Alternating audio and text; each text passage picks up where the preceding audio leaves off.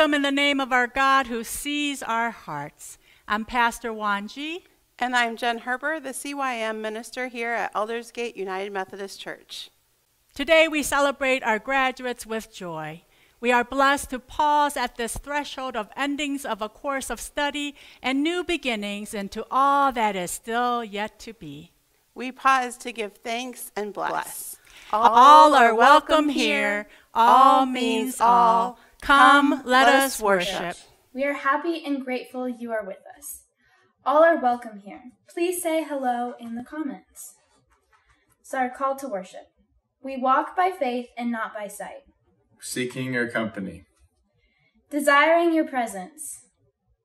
As the Spirit moves, let us welcome the unexpected. You and your unfathomable love, O God.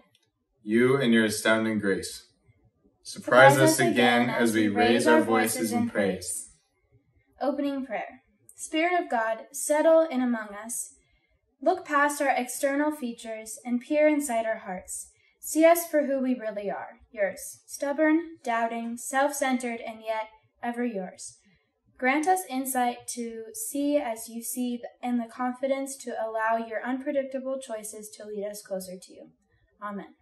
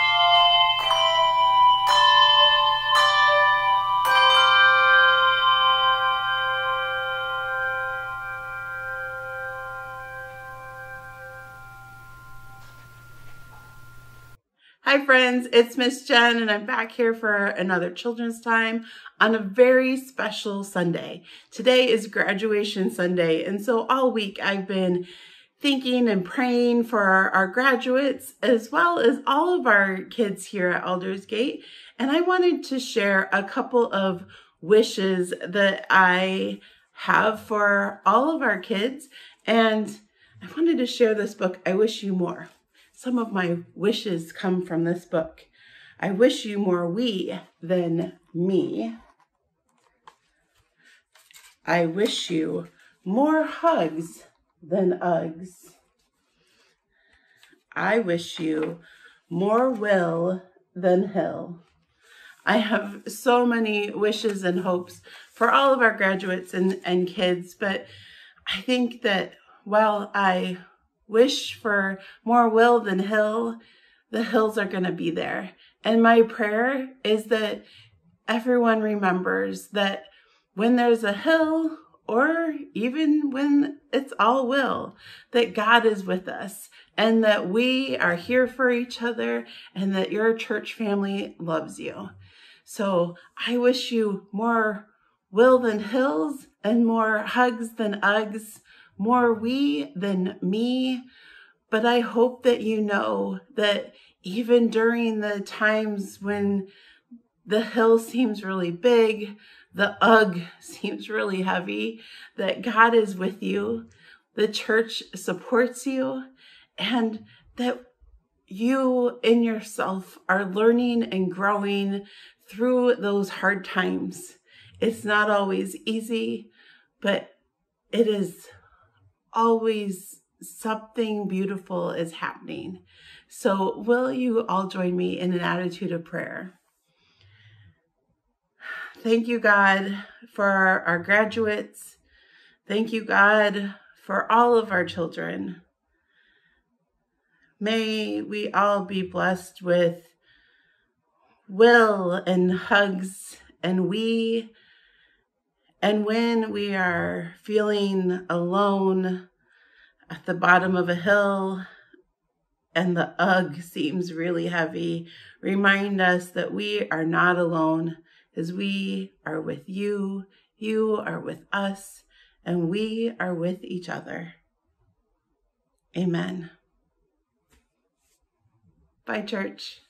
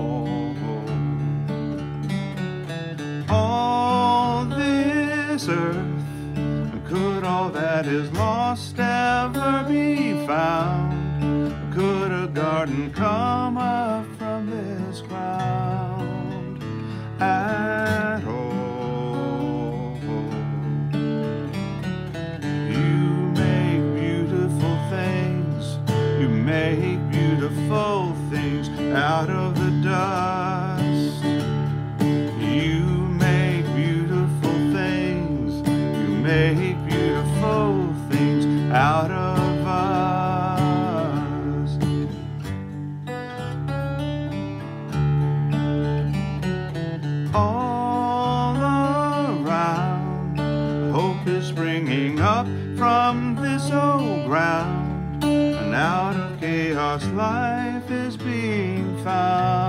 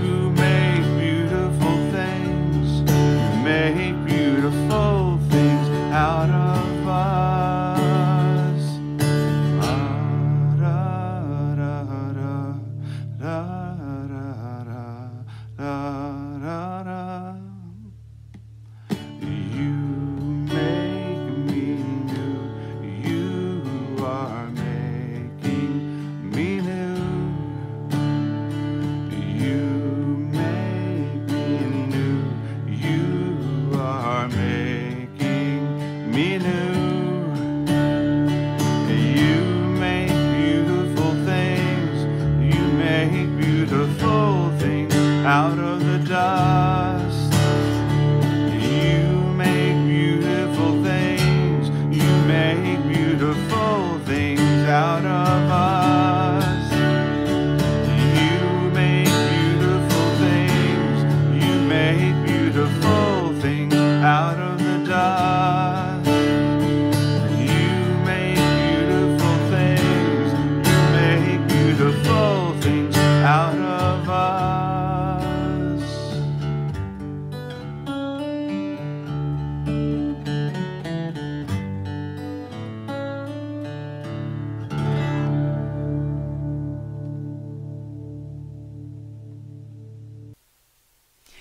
Join us in our prayer for our graduates. You are invited to extend your arms out symbolically towards our graduates as if we were in person. May our blessings extended over them anoint them and through these transitions, threshold spaces of endings and new beginnings. Let us pray. God of truth and knowledge, by your wisdom we are taught the way and the truth. We thank you for these graduates and ask that the Spirit settle upon them in strength. Bless and anoint all of our graduates Kyle, Sam, Allison, Julia, Nick, Stephanie, Grace, Ryan, Michael, Devin, and Brooke as they now finish their course of study. We thank you for those who taught and worked beside them and all who supported them along the way. Walk with these graduates as they leave and move forward in life. Take away their anxiety and confusion of purpose. May they see as you see. Strengthen their confidence and grant them courage and grace to live into their gifts. Instill in them a deepening trust and faith of your love and presence always in their future. Guide them in the ways of Christ's leadership, that they may lead others in your love for the good of all people. For, the, sake of Jesus Christ. Amen. The flowers this morning is in celebration of our graduates. Congratulations. Let your light shine. Let us pray. Listening, God, like the psalmist, we ask many things of you. Send help, give support, remember our offerings, grant our heart's desire. There is not one prayer we lift that you refuse to hear. Help us to be honest with you. Hear our prayers when we grieve over endings like Samuel in the Bible. There is not one sorrow we bear that you do not bear with us. We pray with and for Cindy and Ruth, and Ruth's daughter Renee with the recent passing of her pet dog, Hermano. We pray for David's sister and Heidi's sister in law, Linda, who is now in hospice care. By your merciful presence, may comfort touch them, and may they receive the balm of your compassionate heart. And as we begin to lift up and celebrate Pride Month, Help us to continue to see one another as you see us. There is now one person you've created who is not worthy of your love and respect. We are of sacred worth to you. We pray for change when people like Jesse in the Bible overlook people whom you deem valuable and teaches us to see rather through the ways of your heart and eyes. And like David, help us to be the people you've created each of us to be, fully and authentically ourselves. May we all live into our gifts. May we be the inclusive church that celebrates who we are as the people of your grace. Surprise us with your generosity as well as through all the ways we nurture one another, even when others deny our human dignity. Hear the prayers we bring before you, spoken and unspoken. We pray for your incredibly beautiful and fragile world, for our nation and all nations, for leaders, for bold and weak, for your church, changing, evolving, seeking to do your work, for families of every size and kind, and for ourselves. Spirit of God, come mightily among us and receive our prayers. We lift them to you with the one Jesus taught us and still prayed around the world in different tongues. Padre nuestro que está en el cielo, santificado sea tu nombre. Venga su reino, hágase tu voluntad en la tierra como en el cielo. Danos hoy nuestro pan de cada día. Perdónanos nuestras ofensas, como también nosotros perdonamos a los que nos ofenden no nos dejas caer en tentación y líbranos del mal. Amen. We bring a reading from the Old Testament, 1 Samuel chapter 15, verse 34 through chapter 16, verse 13. Draw near and hear God's word. Reading from the Inclusive Bible. Samuel departed for Ramah and Saul went home to Gibeah of Saul. Until the day he died, Samuel did not see Saul. Yet Samuel grieved over Saul, for Yahweh regretted making him ruler of Israel. Yahweh said to Samuel, How long will you grieve for Saul, since I rejected him as ruler of Israel? Fill your horn with oil and be on your way for I am sending you to Jesse in Bethlehem. For I have chosen my ruler from among his children. But Samuel replied, How can I go? For if Saul learns about it, I will be murdered. Yahweh replied, Take a helper with you. I am sending you to Jesse. Tell him you come to offer a sacrifice to Yahweh and invite Jesse to the sacrifice. Then I will show you what to do. You are to anoint for me my selection, Samuel did what Yahweh said. When he arrived at Bethlehem, the elders of the town trembled when they met Samuel. They asked, Do you come in peace? Samuel said, Yes, in peace. I have come to sacrifice to Yahweh. Consecrate yourselves and come to the sacrifice with me. Then he consecrated Jesse and his children and invited them to the sacrifice. When they arrived, and Samuel saw Eliab and said to himself, Surely God's anointed stands here before Yahweh. But Yahweh said to Samuel, Pay no attention to appearance and height. I have rejected him. Yahweh does not see as mortals see. Mortals see only appearances, but Yahweh sees into the heart. Then Jesse called Abinadab to pass before Samuel, who said, No, Yahweh has not chosen this one. Next came Shammah, but Samuel said, Not this one either. Seven sons were presented to Samuel by Jesse, who said, Yahweh has not chosen any of this. Samuel asked, Are these all the sons you have? There is still the youngest, Jesse said, but he is tending the sheep. Samuel said, Send for him. We will not begin the sacrificial banquet until the lad arrives. So they sent for the boy. A youth with bright eyes and handsome to behold. Yahweh said, Rise and anoint this one. Then Samuel took the horn of oil and anointed the boy in the presence of his brothers. And from that day forward, the Spirit of Yahweh came upon David and was with him. Then Samuel set out on his way to Ramah.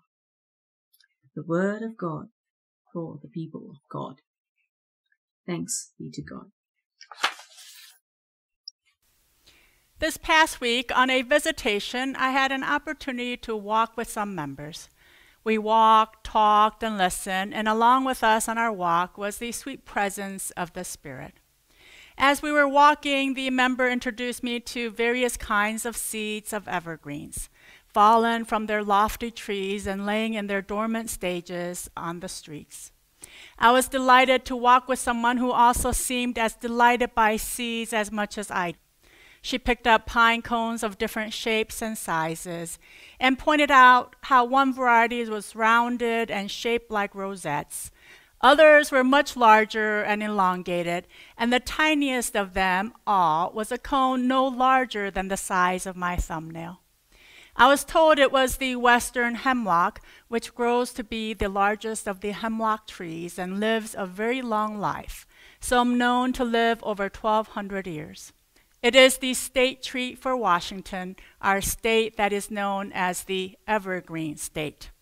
Cones or seeds of evergreens are everywhere here, and ordinary things, if ordinary is defined in part by how common it is.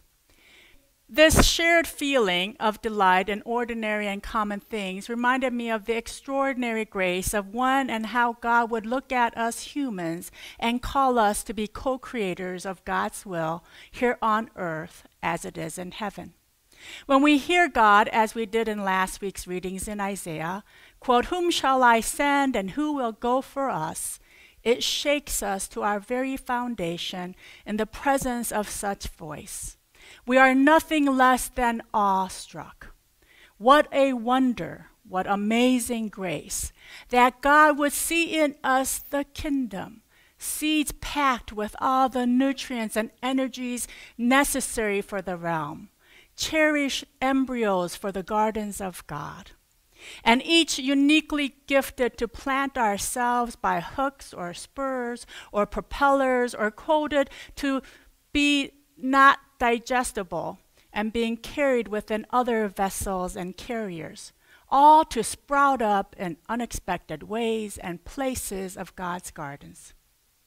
It's fascinating to me that seeds evolve and are created in the heart of the flower, plant, and or tree itself. Maybe we are not that different, being created in the heart of God's own heart. Today's parable reminds us that Jesus had a sense of awe and wonder for seeds and for us humanity. And awe for the ordinary is extraordinary in and of itself. We are told in the Gospel of Mark, quote, the reign of God is like this. A sower scatters seed on the ground, then goes to bed at night and gets up day after day. Through it all, the seed sprouts and grows without the sower knowing how it happens. The soil produces a crop by itself first the blade, then the ear, and finally the ripe wheat in the ear. Mark chapter 4, 26 through 30. We are told the seeds grow without the sower knowing how it happens. And in another translation, as quote, he sees not how. Some translations just carry more energy than others. He sees not how. I love that. We see not how. The Markan story continues with Jesus sharing a parable, the parable of the mustard seed. And the smallest of seeds, actually a very common weed, and unseen within it, the potential that reveals the realm of God. Are we not like these seeds and carriers of the unseen realm of God? Us ordinary humans, and we see not how.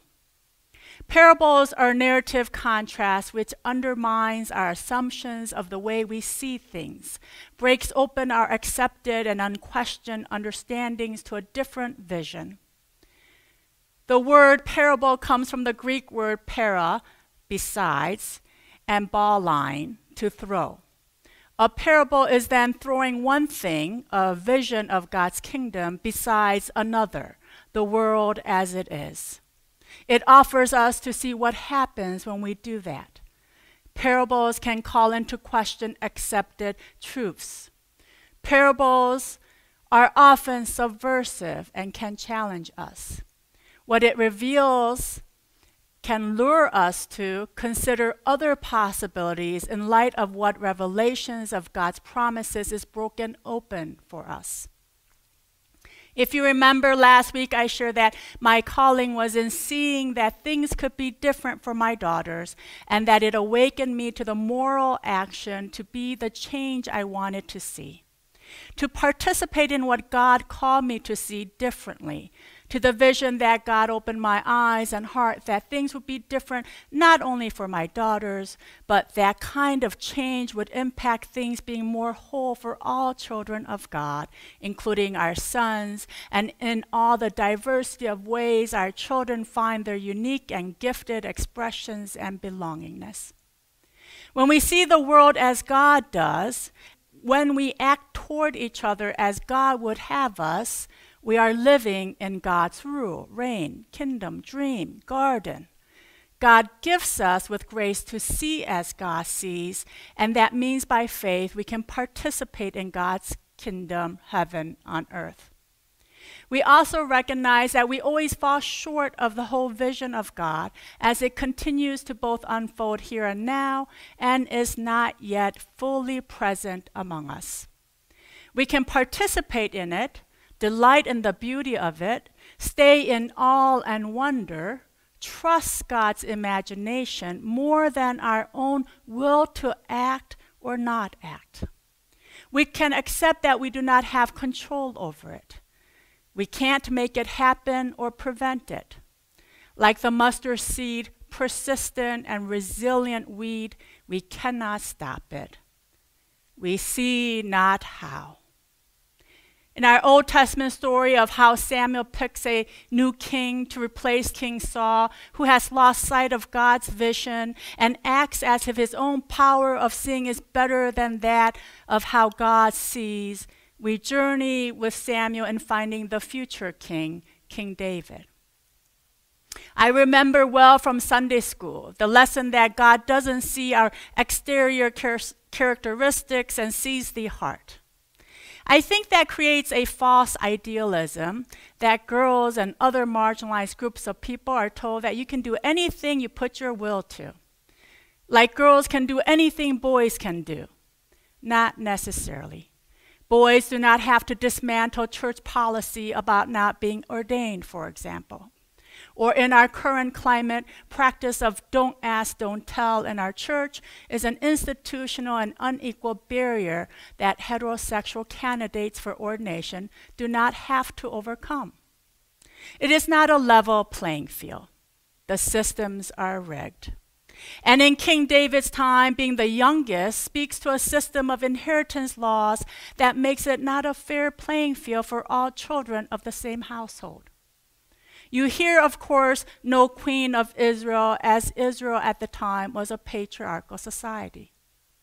The story of how King David is chosen reveals to us that God sees the heart, and often we discount the physical attributes described. David was short, he was handsome, he was the youngest child. If these are not important in King David's time, it would not be described. It does matter that King David does not have the height that the world he lived in favored in their leaders. It's important to the story of David and Goliath. David's height is not a liability as seen in his world, but as an asset that God can be glorified through. It's important to understand what it meant in those days to be youngest child, meaning you had no inheritance, and yet King David would inherit the title of the first king of Israel when in fact King Saul was the first king. We are also reminded by Jesus' genealogy in the Gospel of Matthew that Jesus is the inheritor of the line of King David. The story of King David is a complicated story of leadership and what it means to lose sight of how God sees us. King David loses his sight of God when he fixes his gaze upon the wife of one of his favorite commanders and commits both adultery and murder. We also know one of the most beloved Psalms is attributed to King David Create in me a clean heart. Much like the parallels that parables reveal to us, the story in today's reading in 1 Samuel contrasts to us what the world in the time of King David saw as not worthy and valuable in the next king of Israel, and what God sees with God's heart as part of God's own. In the Bible, leadership is often understood in terms of relationship of someone doing the will of God. What is contrasted, offered as parallel for readers to see, is that what the people could not see as worthy and of value in King David's time, his height, his birth order, him being a shepherd, is paralleled with what God can see, the heart of David and one created in God's own image. By saying God sees the heart, it does not mean God does not see the other things. In truth, our physical life matters that is not separate from the conditions of our heart. David understood he was the youngest, and being the youngest shaped his heart. Even psychologists today would tell us how much we are shaped by our birth order. I think there is even a study that correlates birth order and likeliness of being a leader. What the world sees and uses to accomplish the world's will is paralleled and contrasted to how God sees and what God uses to accomplish God's will. God's will, kingdom, reign, field of activity is attainable in and through what is often not considered of worth, of value, or of belonging in our world as it is. King David is a person chosen with the heart, the eyes to see the possibility of what God envisions for God's people. What our readings today reveal is the surprising nature of God calling to unexpected leadership those whom God sees more clearly than how the people of his world saw David. The parable of the mustard seed invites us to ask how do we see the potential that God sees? The answer to that question might begin with how we have experienced being seen by God that has helped us to respond to God's calling and practicing those ways of seeing with and for one another. One way I have felt seen is when I have found a sense of belonging. In Brene Brown's book, Daring Greatly, she shares a parallel to highlight the difference between a sense of belonging and fitting in. She says, quote, I get to be me if I belong. I have to be like you to fit in. God sees us, the whole of us, all of us, our physical, emotional, spiritual, intellectual selves. God desires you and I to be authentically ourselves, all of me. When we are seen and known by God, we have a deep sense of belonging. We belong to God. What would it look like if we lived into the courage to truly see and be seen, to be known and to desire to know ourselves, God, and one another with the heart of how God sees us as our whole selves? God treasures us in God's heart, everything about us that makes us who we are. Our hearts are not separate from our bodies, minds, and spirits. It matters to God that we are short, we are the youngest, and other identifiers that we use in our modern day to make others the other and exclude their belonging as not one of God's own. Today, it may be race, gender, sexual orientation, gender identities, social and economic class, age, citizenship, etc. As we enter into Pride Month, it matters that we celebrate our LGBTQAI plus siblings. Our church loves us as we are. We are a child of God's own heart. We are beautiful in all our rainbow colors, and we belong in that rainbow promises of God. Today, we also celebrate our graduates, and we bless them in this threshold of endings and new beginnings. God is in their future, and as they anticipate the not yet of their lives and of God's realm, may we bless them with the wisdom passed to us by those who led the way before us. A modern contemplative theologian, Henri Nouwen, shared that often people like to live anticipating their answers to questions that will never be asked, as if we will be asked one day, quote, how much did you earn during your life? How many friends did you make? How much progress did you make in your career? How much influence did you have? The questions he thinks we will face and be least prepared to answer to from Jesus, if who we anticipate to be asked from is Jesus, that is, such questions as, What have you done for the least of mine? And as long as there are strangers, the hungry, the naked, the sick, the refugees and prisoners, the marginalized, then we should be haunted by these questions in our hearts.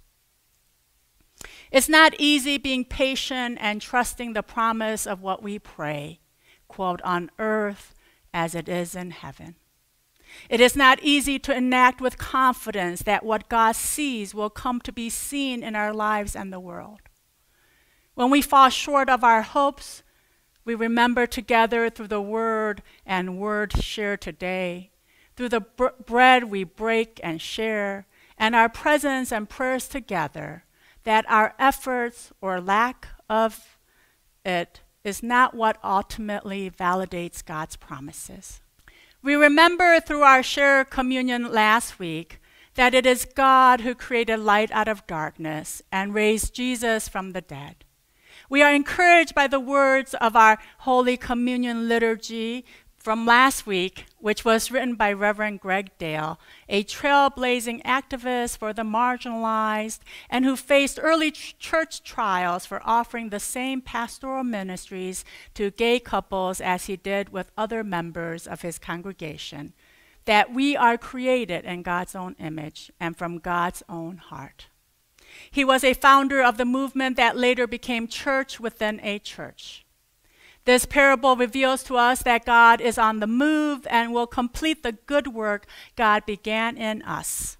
May we take joy when we see God's reign lived out throughout this month in the lives of our LGBTQAI plus siblings and in the solidarity as allies.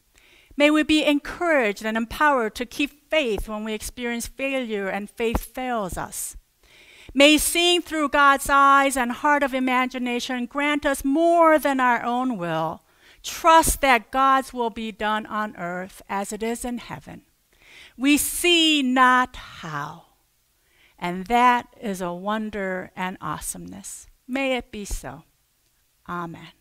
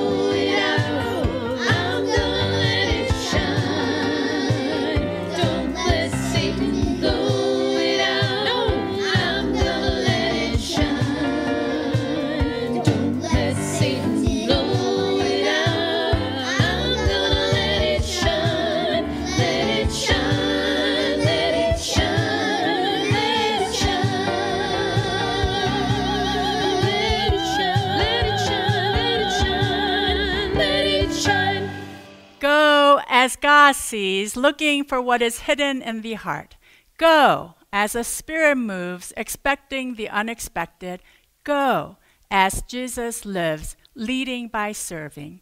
Go in peace, love, and joy. Amen.